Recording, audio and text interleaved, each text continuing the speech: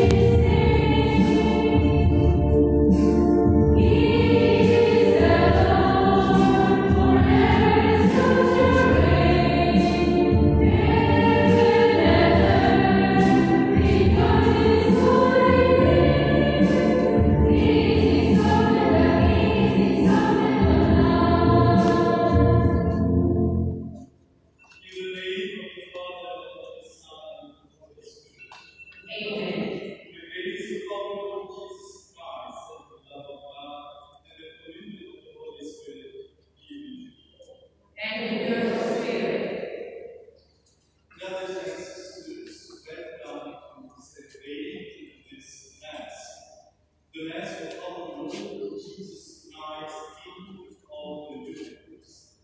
So we pray for our church, for our parish, for our family members, and let us acknowledge our sins. And so prepare ourselves to celebrate the sacrifice. Together